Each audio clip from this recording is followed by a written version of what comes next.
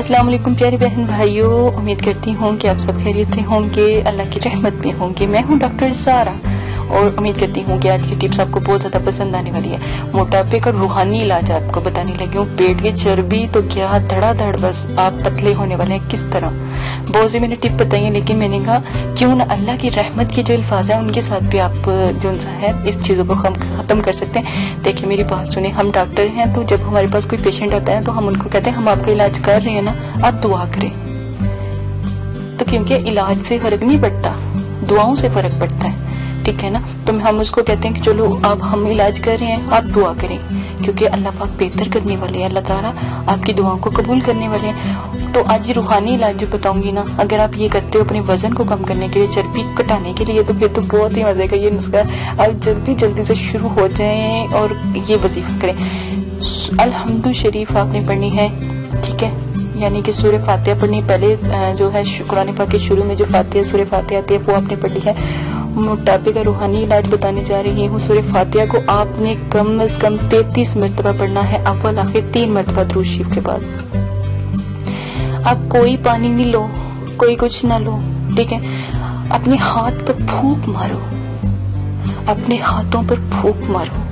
اور اس کو جہاں چربی ہے، جہاں پر آپ کا جسم بڑا ہوا ہے تو اللہ سے دعا کرو کہ یا اللہ میں نے یہ آیات مبارکہ، یہ صورت میں نے اس مقصد کے لیے پڑھی ہے۔ آپ اس میں فرق ڈال دیں، مجھے یہ چیز اچھی نہیں لگتی، یا میں کام نہیں کر سکتی، اٹھ نہیں سکتی، بیٹھ نہیں سکتی، چل نہیں سکتی، مجھے تکلیف دیتی ہے، مجھے یہ بیماری اللہ سے فریاد کرو۔ وظیفہ کیا ہی کمال ہے، اور قسم سے الحمدللہ ضرور فرق پڑے گا۔ لازم نہیں ہے کہ ہر چیز میڈیسن دوائی اور کھانے کی چیزوں پہ ہی ہم کر سکتے ہیں یا نہیں۔ آپ یہ وظیفہ کرو۔ بے شک میری جو بنائی بتائی ہوئی ٹپس اگر آپ نے سٹارٹ کی ہوئے تو وہ بھی کرو، لیکن وظیفہ لازمت کرو۔ یقین مانے، جب ڈاکٹر ہم لوگ کہتے ہیں نا کہ اب آپ دعا کریں، ٹھیک ہے؟ ہم نے اپنی طرف سے محنت کی ہے یا ہم اپنی طرف سے لگے ہوئے ہیں تو آپ دعا کریں۔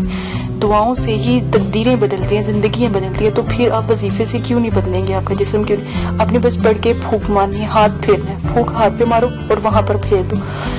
یقین مانے اگر چربی نہ نہ پنگلے تو ڈاکٹر زارا کو پکڑ لے۔